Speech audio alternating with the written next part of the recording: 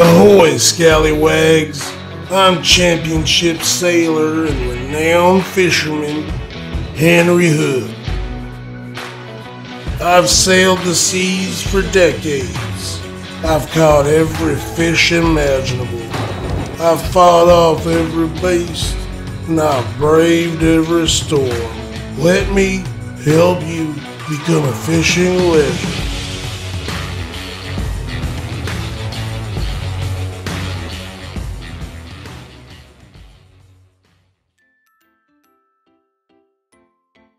Ahoy, scallywags! Today we're going to be fishing for my favorite looking fish, the wrecker. This fish can be found anywhere on the map as long as you're near a shipwreck. So what you're going to want to look for is a flock of seagulls. If you see seven or eight seagulls, it's most likely just barrels. So make sure there's a whole flock that usually means there's a shipwreck under the water. One thing to note is that rare fish can be found inside the shipwrecks in any of the barrels, so make sure to take a look inside before or after you're done fishing. Now, to catch a wrecker, you're going to need bait. The wreckers love them earthworms. So stock up on worms and bring your favorite fishing rod. It's time to fish. So if you want to be known as the hunter of wreckers, you're going to have to catch a sun wrecker and a rose wrecker. These two breeds are common and have no special requirements. Next, you'll have to catch a moon wrecker, which is usually found at night time. Next, you'll have the black cloud wrecker.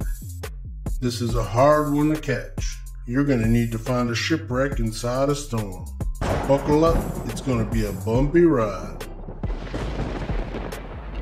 Last and certainly not least, you're going to have to catch the rare wrecker, the snow wrecker.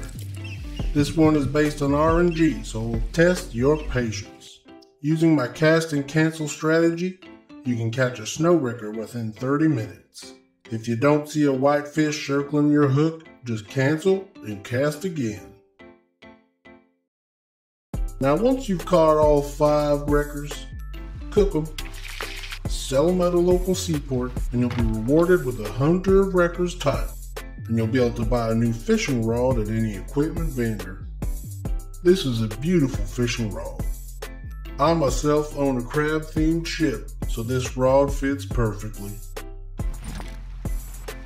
Look at this beauty.